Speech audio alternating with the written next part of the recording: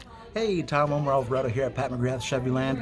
First and foremost, I just wanted to thank you for your previous business. Wanted to shoot you just a quick video introduction so you have a face to go with the name here.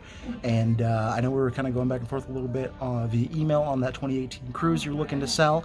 Definitely sounds like something we'd be interested in getting on our pre-owned lot. We're always looking to keep that inventory in stock.